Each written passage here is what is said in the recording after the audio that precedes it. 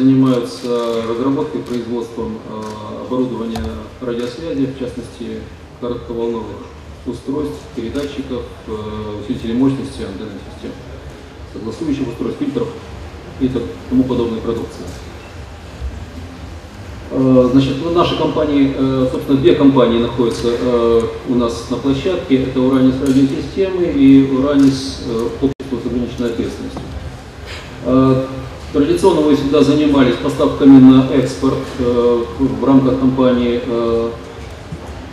Уранис. В нашем здании находится как разработка, так и производство техники Э, компания «Уранис радиосистемы» была создана в 2014 году как э, предприятие, которое должно быть интегрировано в э, систему оборонно-промышленного комплекса России и занимается она на базе существующих научно-технических заделов первой компании, она занимается разработкой устройств для нужд ОПК России. В частности, Сейчас, э, в данный момент, э, мы проходим стадию государственных испытаний э, перспективного предварительного передатчика КВ диапазона на 5 киловатт. Вот он перед вами. В принципе, проходит все нормально. Мы похоже, что это единственный передатчик перспективный, который сегодня существует в России, который реально работает. Много лет э, мы занимались этой техникой, есть определенный задел, и сегодня у нас, э, в принципе, э, более 50 изделий реализовано в рамках предприятия. Соответственно, возникает вопрос традиционный для таких компаний, как, как вот, Фиолент или мы, возникает вопрос о переводе всего наработанного багажа, архивов, технических архивов, конструкторских архивов в электронный вид – Э, исключение влияния, допустим, человеческого фактора при э, управлении всем этим процессом, э, исключение ошибок при производстве. Соответственно, мы, это дополнительно фотографии наших изделий, вот такое же согласующее устройство, к этому 5 киловатт фильтры, батареи и так далее. Значит, э, на сегодняшний день э, у нас э, существует проблема. У нас есть ряд изделий, которые традиционно разрабатывались конструкторами еще старой школы. Они работают в основном в двухмерном изображении. Молодые ребята приходят сегодня, работают уже в 3D.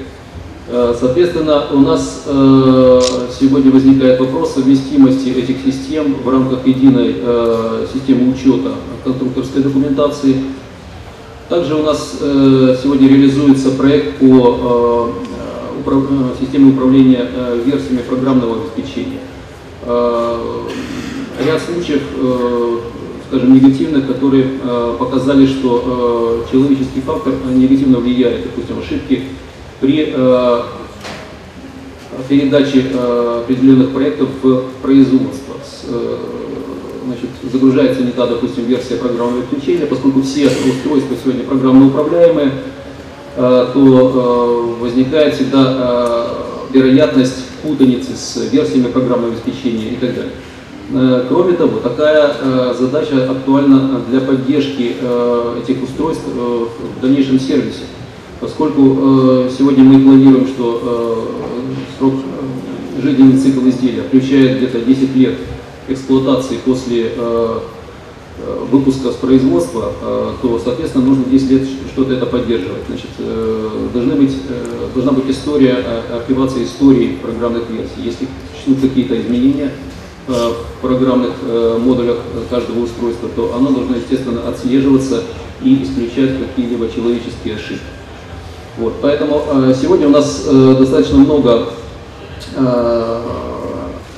программных пакетов используются при проектировании, это и производство, э, разработка э, схемных решений, э, расчет без макетирования процессов в электронике, разработка программного обеспечения, соответственно, управляющих контроллеров, контроллеров которые вставляются в устройство, разработка, расчет параметров антенных устройств, антенно согласующих устройств.